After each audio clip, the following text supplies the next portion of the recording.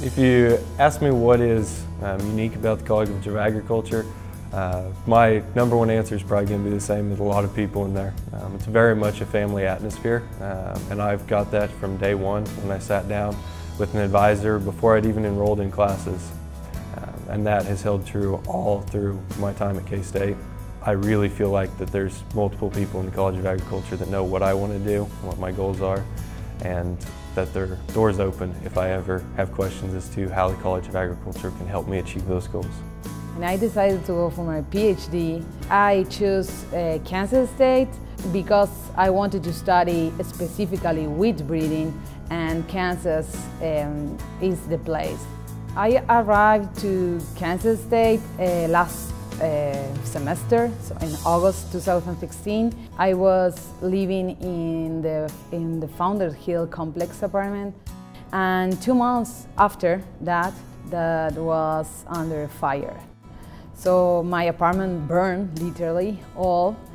So two days after the fire, I received an email from the Ag College and the subject of the email was uh, emergency scholarship.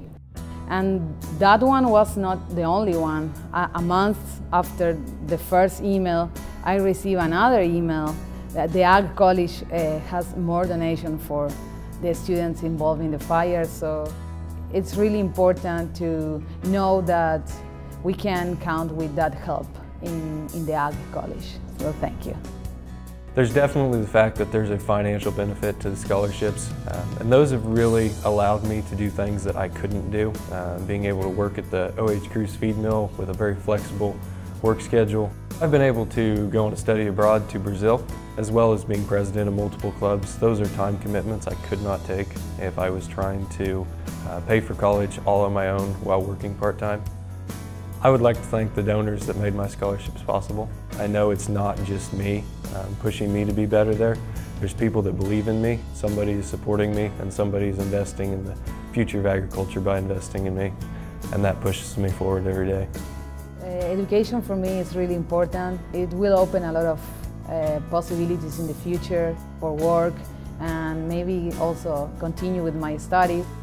And I wanted to uh, encourage you to continue. Your donations are always uh, really helpful. We feel like in a family.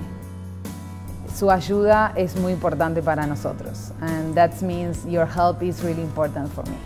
So thank you.